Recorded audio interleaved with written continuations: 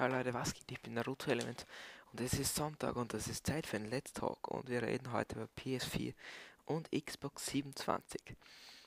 Und ich würde sagen, wir fangen mal mit der PS4 an und in den, also bei den Entwicklern heißt es Orbis am Anfang und jetzt haben sie es umbenannt in Omni. Der Name ist noch nicht so bekannt, es wird vielleicht PS4 oder Omni heißen. Und ja, jetzt mal zur Grafik.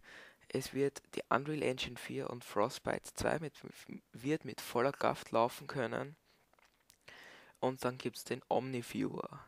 Das ist so ein Ding, was man kaufen kann. 70 Euro kann man es dazu kaufen.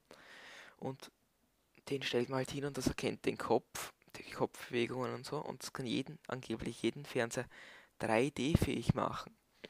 Ich weiß nicht, wie das gehen soll, aber es, sie haben es geschrieben. Also es ist nur ein Gerücht natürlich und die Controller haben Sensoren, die Schweiß, Puls und Temperatur erkennen.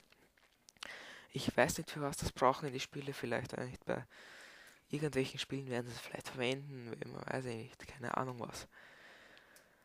Und sie wird wahrscheinlich im September 2013 rauskommen in zwei Versionen. Die eine Version ist ohne dem Omniviewer, also wo es nicht jeden Fernseher 3D machen kann. Das ist, die kostet 270 bis 300 Euro und der mit dem Omniviewer kostet 345 bis 380 Euro. Und beide sollen 120 GB Speicher haben.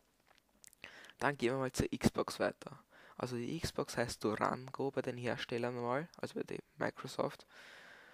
Und sie soll zum, zum Schluss heißen vielleicht Durango Xbox oder Xbox 720. Aber Xbox eigentlich wieder ein bisschen verwirrend, wenn man ein Spiel auf Ebay kaufen will, da steht Xbox, kennt man sich vielleicht nicht aus oder bei Amazon oder im Geschäft. Geben Sie vielleicht ein altes Xbox-Spiel, wenn man ein neues haben will, keine Ahnung.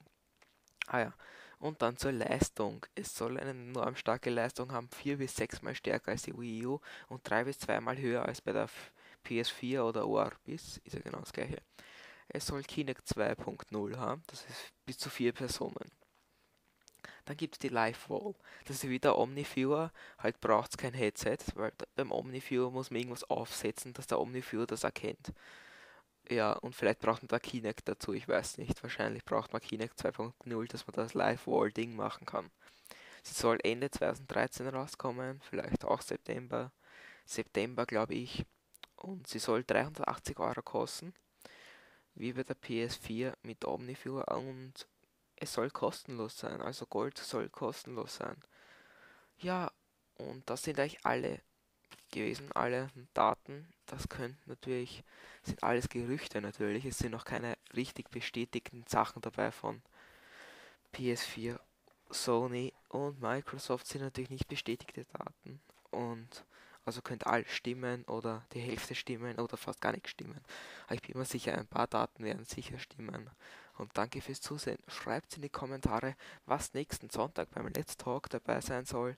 Vielleicht nächstes Call of Duty MW4 oder so. Keine Ahnung, was ihr wollt. Schreibt in die Kommentare. Und das war's. Danke fürs Zusehen. Ciao.